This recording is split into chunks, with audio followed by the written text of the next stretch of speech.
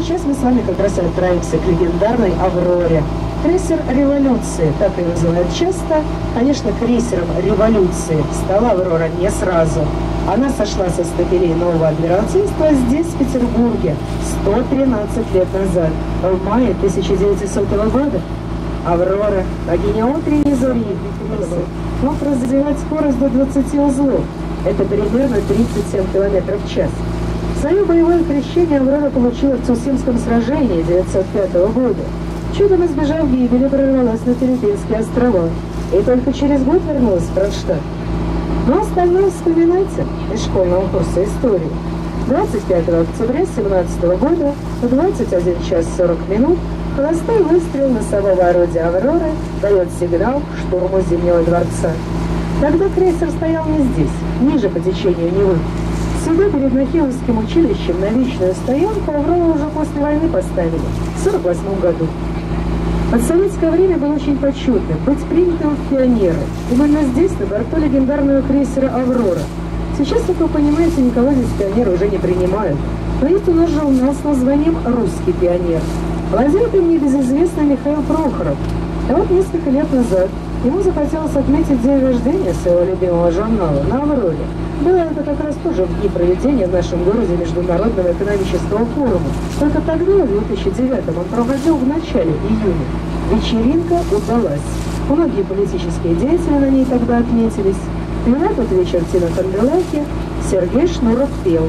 Ну а потом, как всегда, вдруг выяснилось, что «Аврора» у нас не просто музей, а самый настоящий боевой корабль со статусом «Корабль номер один». И, конечно, подобного рода развлечения на «Авроре» запрещены. Через год после той вечеринки, в 2010 году, «Аврору» вывели из состава военно-морского флота. Экипаж расформировали. Так что теперь «Аврора» наша – это только филиал военно-морского музея. Но флаги, как видите, все равно поднимают, как на самом настоящем боевом корабле. На корме на белом фоне косой синий крест – это Андреевский флаг. Андрей Первозванный считается покровителем русского флота. Флаг на носу – Гюс. Гуси поднимают на кораблях первого и второго ранга каждый день во время якорной стоянки вместе с кормовым флагом. Пока еще не определились со сроками точно, но предположительно уже этой осенью «Аврору» нашу собираются буксировать на ремонт года на полтора-два. Возможно, после ремонта она станет учебным кораблем для курсантов Нахимовского военно-морского училища. Это здание за «Авророй» голубого цвета со шпилем. Вот до недавнего времени в Нахимовское поступать могли у нас только юноши после девятого класса. Учились три года, получали подготовку, которая позволяла продолжить образование уже в высших военно-морских учебных заведениях. Но вот несколько лет назад, впервые за всю историю училища, набрали две группы девушек, всего 30 человек.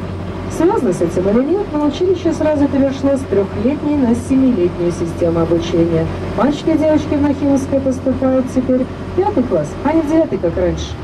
Сама Аврора, она, конечно, на вечной стоянке стоит, во всяком случае, так написано во всех путеводителях, но не так уж давно, в 84 году, ее уже буксировали на ремонт. Три года Авроры здесь не было, так что название это «Вечная стоянка», оно, конечно, весьма-весьма относительно.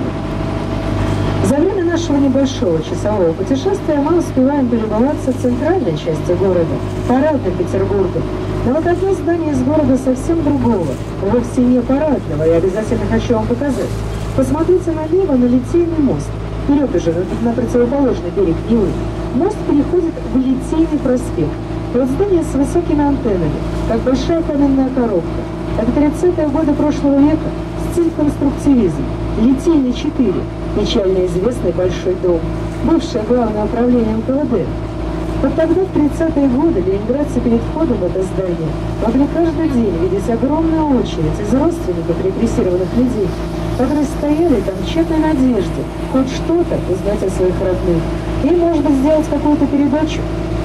В числе тех людей была Летяна Ахматова, и уже позже в фонтанном доме она напишет – а если когда-нибудь в этой стране воздвигнуть задумают памятник мне, согласие на это дает торжество, но только с условием не ставить его не около моря, где я родилась, последняя с морем разорвана связь, и в царском саду у заветного дня, где тень безутешно ищет меня, а здесь, где стояла я триста часов, и где для меня не открыли засов. Но ну, вот что удивительно. Конечно, в городе нашем есть памятники Анне Ахматовой, и не один, но ни один из них не стоит там, где хотела этого сама поэтесса. Еще в середине XIX века Аполлон Григорьев в своих заметках петербургского зеваки писал, чтобы хорошо узнать Петербург, надо бы посвятить ему всю жизнь свою, сродниться с ним, предаться ему душой и телом, и под небом Италии, и среди развалин Греции, и в платановых рощах Индии не бывает таких ночей, как в нашем прекрасном Петербурге.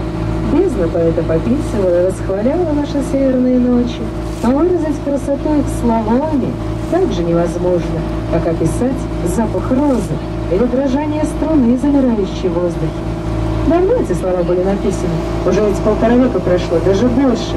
Но, конечно, они до сих пор остаются актуальными. Вот как раз сейчас и стоит в нашем городе эта волшебная, романтическая пора белых ночей, когда одна заря сменить другую, спешит, дав ночи полчаса.